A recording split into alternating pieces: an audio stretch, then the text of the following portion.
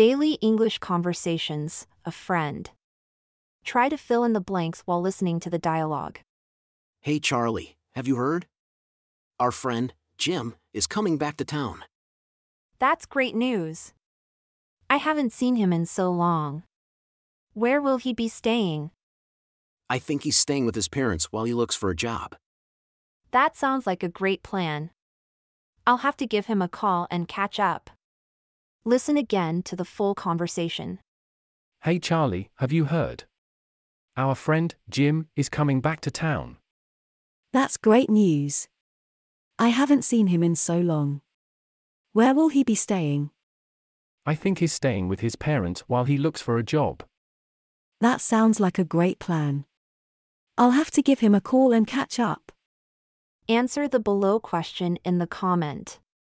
What plans does Jim have for his return to town?